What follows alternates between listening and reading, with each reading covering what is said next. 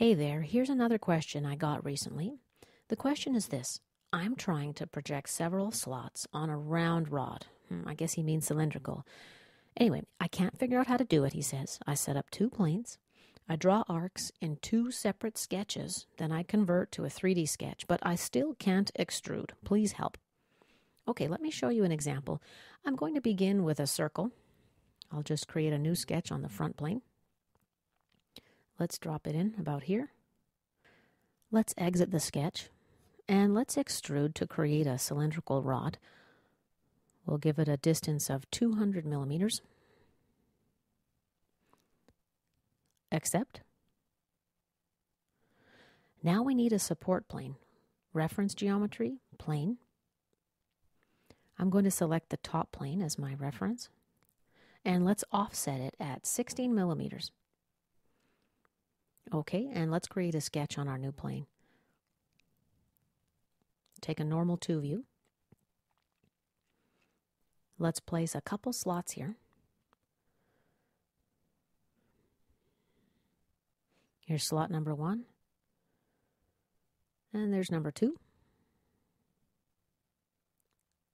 Let's click OK. Now let's take an isometric view. From here, when I try to use the project curve command, I get an error message. Let's check it out. We'll select the face, the cylindrical face, and click OK. And here's our error. The sketch is not suitable to create the projected curve. It has more than one open or closed profiles. Let's cancel out. Let's use the split line tool. Sketch 2 is already pre-selected under selections. For the type of split, let's use projection. I'm going to select this face here and click accept. From here, we need to create a 3D sketch. Let's go to the Sketch tab. Sketch, 3D Sketch. Now click Convert Entities. I'm going to select these two edges and these two as well.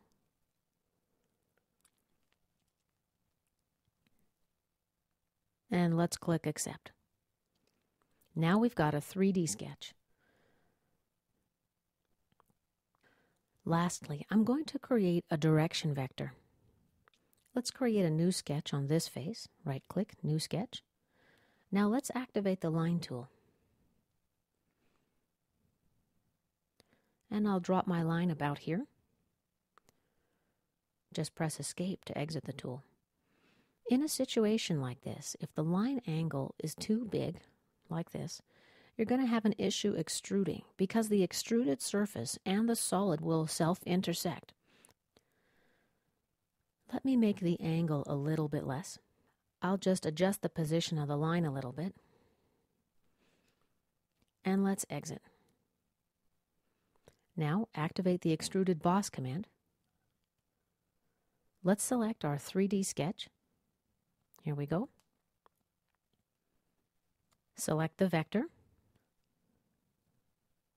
and let's enter a distance of, let's say, 5 millimeters, tab to register. Let's click OK. We're going to have another issue. Here it is, the rebuild error, unable to create because it would result in zero thickness geometry. So how do we solve this problem? What we can do is create two separate solids because SOLIDWORKS can't merge these two solids. And let's click OK to accept the boss extrude as such.